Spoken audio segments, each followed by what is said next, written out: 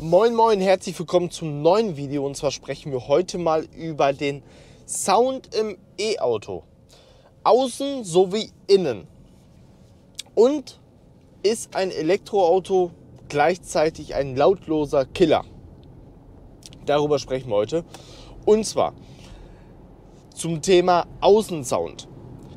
Da hatte ich jetzt schon zwei sehr prägende Ereignisse. Und zwar einmal bin ich morgens ähm, zum Frühstücken bei meiner Oma hingefahren. Und das war halt so ein, Wald, äh, so ein Waldweg. Und dort war eine, ein Jogger, der da seinen Tonus lief. Und ich war hinter ihm. Er hat mich nicht mitbekommen. Er hatte keine Kopfhörer drin. Er hat mich einfach nicht gehört. Obwohl der macht eh ja ein Geräusch nach außen, zur Außenwelt hin produziert, wenn man unter 30 Kilometer pro Stunde fährt. Meines Erachtens ist dieses Geräusch aber ungünstig gewählt. Es ist zu leise und das Geräusch an sich ist auch nicht sehr optimal gewählt. Ich werde euch das jetzt einmal hier einblenden, damit ihr euch selbst einmal ein Bild davon machen könnt.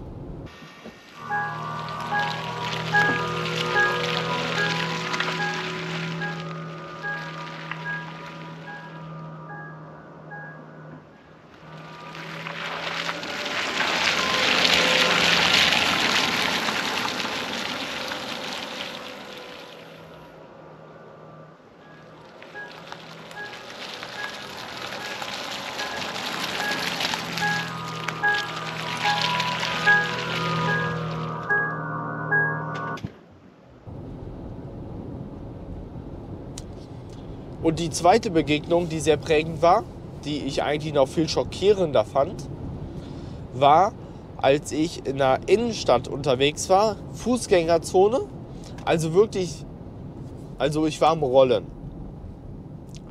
Und ähm, vor mir überquerte eine ähm, blinde Frau die Straße.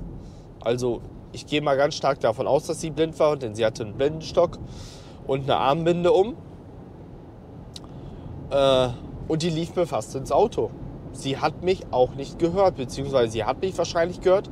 Sie konnte das Geräusch aber komplett nicht zuordnen. Was ja auch nicht sein darf. Und das finde ich dann schon wirklich schwierig. Ich bekomme das zum Beispiel auch täglich äh, bei mir äh, im Dorf mit, wenn ich mit dem Fahrzeug fahre. Die älteren Leute, wir haben einen sehr großen Anteil an älteren Menschen bei uns im Dorf, die können das Auto komplett nicht zuordnen. Die schauen mich jedes Mal ahnungslos, fragend an, wenn ich an denen vorbeifahre. Wahrscheinlich auch wegen dem Geräusch. Also weiß ich nicht, was ich davon halten soll. Das waren jetzt nur zwei Beispiele. Ich habe noch eigentlich ein paar mehr. Aber ähm, schwierig. Also ganz schwierig. Ich weiß jetzt auch nicht, äh, ob der ähm, künstliche Außensound gedeckelt ist. Der muss wahrscheinlich eine Lautstärke, eine Mindestlautstärke haben. Aber wie das mit der Frequenz und, und ähm, der Soundcharakteristik aussieht, da es obliegt wahrscheinlich dem Hersteller. Schwierig. Also ich finde ihn definitiv zu leise und auch sehr ungünstig gewählt von der, vom Sound. Wie gesagt, also schwierig. Ich hatte jetzt schon zweimal, also Minimum zweimal dieses Problem. Weiß ich nicht, ob ich das wirklich brauche. Besonders das mit der, äh, mit der Joggerin. Was soll ich da machen? Soll ich sie weghupen? Schwierig. Weil dann bist du ja eigentlich permanent nur noch am Hupen. Weiß ich nicht. Schwierig, schwierig. Im Prinzip ist, ist das Elektroauto dadurch ein lautloser Killer. Wenn man bedenkt, dass es noch viele Elektroautos gibt, die noch nicht mal diesen künstlichen Außensound haben. Bei meinem ist es ja Vorgabe, aber ich äh, zum Beispiel, als wir am Ladepark Hilden waren, da haben wir auch über diese Thematik gesprochen. Da fuhren etliche Teslas vorbei, die hast du nicht gehört. Die hatten nämlich noch keinen Außensound. In dem Moment hast du den Mach E gut gehört, aber du hast da auch wenig Außengeräusche drumherum, wie jetzt zum Beispiel in der Stadt, wo du den ganz normalen Verkehrslärm alleine schon hast, was ja auch wieder den Sound überdeckt. Von daher, also da sollte Ford beziehungsweise ich sehe da eigentlich nicht mal Ford unbedingt in der Pflicht, ich sehe da die EU in der Pflicht. Die sollten da mal äh, schleunigst, die, schleunigst die Rahmenbedingungen auf jeden Fall nachbessern. Denn ich finde das wirklich gefährlich. Und ich möchte nicht unbedingt, dass mir jemand vors Auto läuft und ich mir das dann äh, ankreiden muss, nur weil ich Elektroauto fahre und es mit dem Verbrenner vermeidbar gewesen wäre. Und Punkt Nummer zwei ist, der Sound im Innenraum. Den können wir mal eben aktivieren, denn ich fahre mittlerweile immer ohne Sound. Kommen wir aber jetzt gleich mal zu. Ich aktiviere den jetzt einmal. Ich hoffe mal, ihr hört ihn auf der Kamera.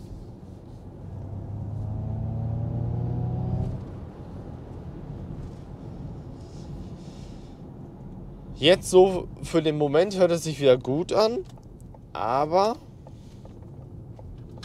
ich weiß nicht. Ich empfinde das mittlerweile als störend in, die, in diesem Fahrzeug. Ich kann da komplett gar nichts mit anfangen mit dem künstlichen Fahrgeräusch, obwohl es sich, obwohl es sich ja nicht schlecht anhört. Wenn, wenn wir jetzt mal genau hinhören, wartet, ich habe ein Auto vor mir. Wir haben jetzt hier sofort 100, wir fahren 60. So, Jetzt beschleunigen wir mal langsam ran. Es hört sich ja nicht schlecht an. Das keinesfalls. Aber es ist ungewohnt. Denn normalerweise hörst du in dem Elektroauto gar nichts.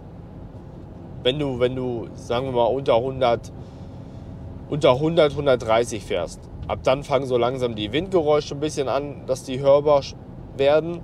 Aber sonst hörst du in dem Fahrzeug eigentlich nichts. Und das ist meines Erachtens gerade das Geile. Man fährt komplett entspannt und das ist praktisch wie so ein Fremdkörper, möchte ich mal fast sagen. Obwohl es sich nicht schlecht anhört. Jetzt zum Beispiel kickt es mich gerade wieder, weil ich bestimmt 5, 6 Wochen ohne Fahrgeräusch gefahren bin. Aber ich weiß, ich weiß jetzt schon, das kickt mich jetzt für 10 Minuten. Und dann ist der Bart schnapp. Meiner bleibt dran. Es kickt mich für 10 Minuten. Und dann ist eigentlich schon wieder das Ding, der Drops gelutscht.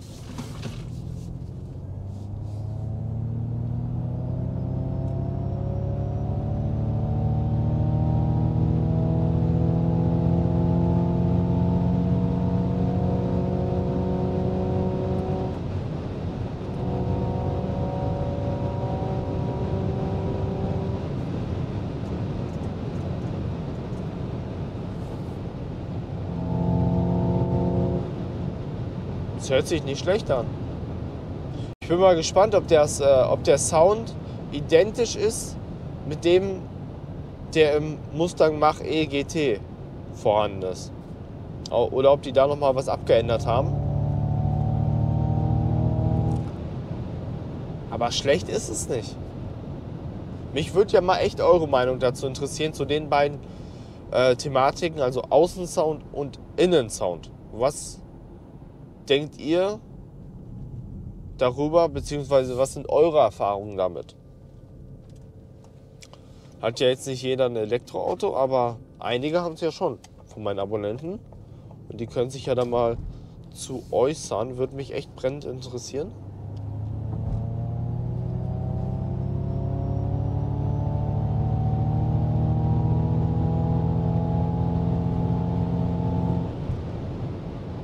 Es ist auch nicht einfach so sonor, sondern umso schneller, umso lauter wird es.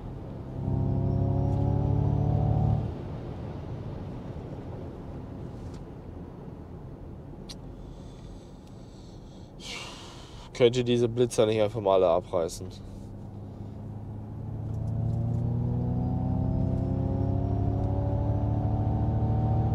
So. Ja. Aber ich muss sagen, jetzt kickt es mich schon wieder nicht. Deshalb werde ich es jetzt wieder ausschalten. So. Dann müssen wir jetzt nochmal hier Auto Hold aktivieren. Denn äh, ich war gerade Auto waschen. Und ach, mal eben abchecken, ob mittlerweile das Update für mich verfügbar ist. Nein, natürlich nicht. Ach, ich darf doch nicht zu viel erwarten. Nein. In Deutschland ist das mittlerweile seit drei Wochen raus. Ich habe das Update natürlich noch nicht. Ach, das kotzt mich an, das kotzt mich so an, Leute. Das könnt ihr euch nicht vorstellen. Eben hat die ganze Zeit wieder Apple CarPlay nicht funktioniert. Das ist echt ein Bug auf Rädern für mich. Aber ich verstehe auch nicht. Also viele in der Facebook-Gruppe haben zum Beispiel gar keine Probleme mehr. Obwohl wir alle die gleiche Software haben. Praktisch, manche haben schon 1.7 ich habe so viele Probleme oder die Leute reden es sich einfach schön. Kann natürlich auch sein. Ja, so. Ähm, ich denke mal, das war's jetzt. Jetzt werden auch wieder vermehrt Videos kommen. Ihr hört, Erkältung geht langsam weg. Und ja, ja. Ansonsten wünsche ich euch noch eine schöne Restwoche. Bis dann, euer Quertreiber. Ciao.